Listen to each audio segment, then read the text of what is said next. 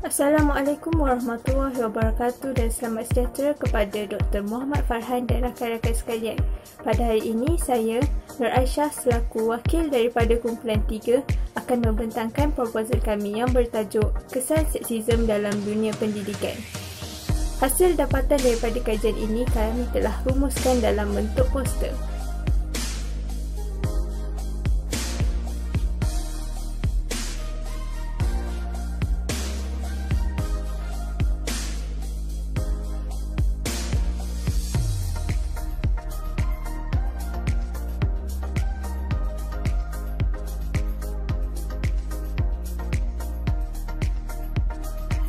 Secara ringkasnya, kajian ini membincangkan mengenai isu seksism dalam dunia pendidikan serta persepsi masyarakat terhadap ideologi ini. Kajian ini dilakukan kerana ideologi seksism dilihat sering digunakan dalam bidang pendidikan. Kesannya, terdapat jurang pendidikan antara pelajar lelaki dan pelajar perempuan.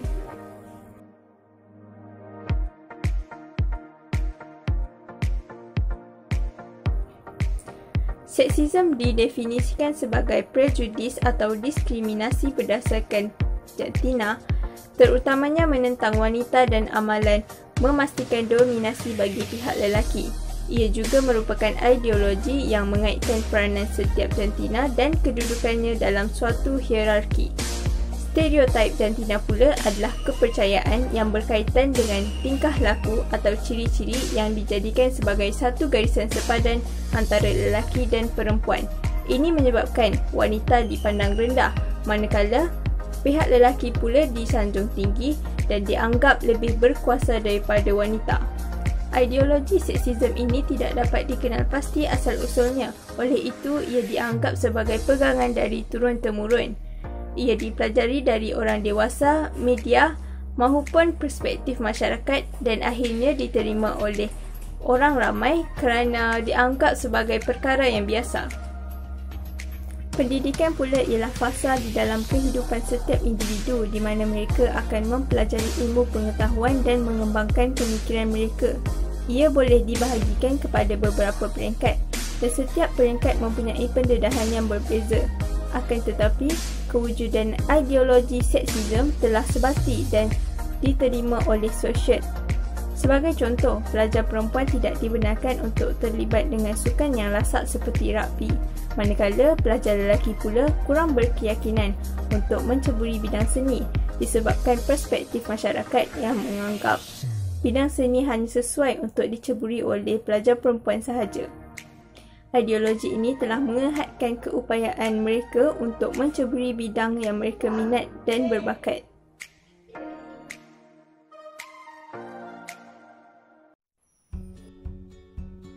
As children, there is no limit to what we believe we can become. But as girls and boys, we are steered in different directions growing up. This happens because of what we call gender stereotypes traditional ideas about what boys and girls can or should do. They may not always be obvious, but stereotypes are everywhere, and they start to follow us from our earliest days in the toy store and continue to influence us when choosing subjects at school. For instance, girls are expected to be good at arts and humanities, while boys are led towards maths and science. When we come across the same stereotypes again and again, they begin to feel natural and start to shape our preferences and career paths.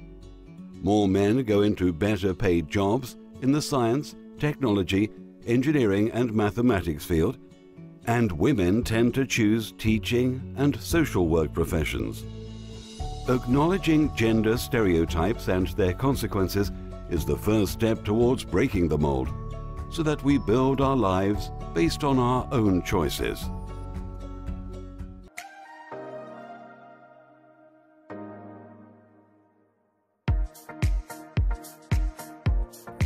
Kami telah melakukan kajian ini dengan pelbagai metodologi, antaranya dengan mengumpulkan pendapat orang ramai melalui soalan di Google Form yang telah kami sediakan.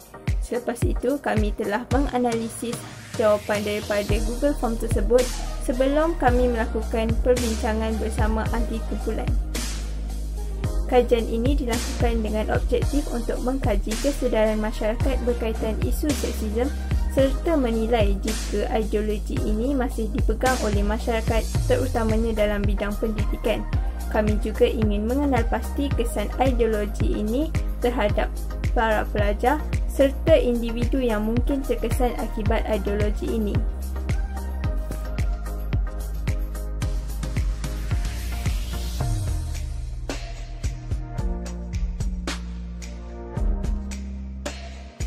Daripada kajian yang dilakukan melalui Google Form, kami mendapati bahawa orang ramai sebenarnya mempunyai kesedaran berkaitan isu seksism dalam dunia pendidikan. Seramai 96.8% bersetuju bahawa sesebuah bidang itu tidak sesuai untuk dipelopori oleh satu jantina sahaja.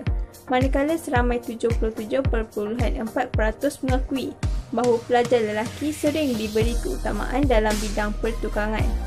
Majoriti responden juga merasakan tanggapan dan diskriminasi oleh orang sekeliling menyebabkan mereka berasa tertekan dan sukar untuk keluar daripada kepompong. Dari tinjauan ini juga kita dapat menyimpulkan bahawa mereka berpendapat bidang sains, kejuruteraan dan seni boleh dipelopori oleh mana-mana jantina. Walau bagaimanapun, unsur-unsur seksism ini tidak terhapus sepenuhnya dalam bidang pendidikan kerana masih ada yang mengamalkan ideologi ini.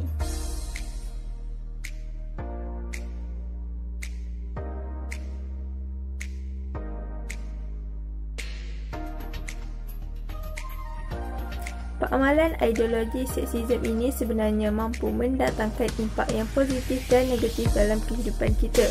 Secara dalaman, Ideologi seksism boleh mendatangkan impak yang positif apabila berlakunya pemerkasaan untuk menentang diskriminasi terhadap wanita. Selain itu, kita juga boleh belajar mengenai konsep seksism dan bertindak membantu mereka menentang ideologi ini.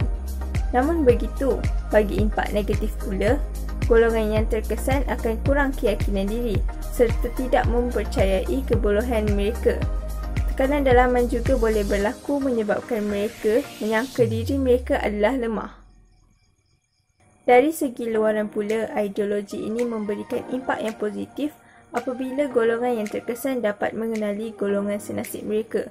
Dari sinilah mereka akan mendapat kekuatan untuk memberikan pendedahan dan mendapatkan pembelaan.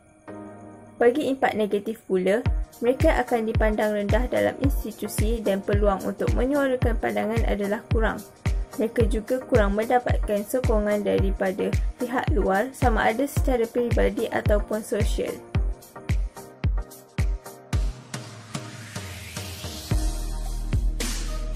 Berdasarkan kajian ini, dapatlah dirumuskan bahawa ideologi seksism ini jika terus dipraktikkan pemikiran dan kehendak para pelajar untuk menimba ilmu akan terbatas.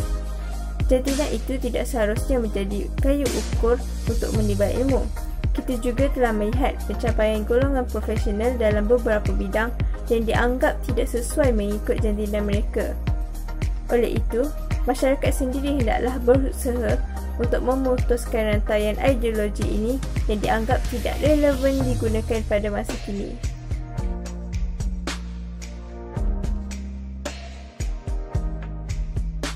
Sekian sahaja daripada saya. Terima kasih kerana meluangkan masa untuk mendengar.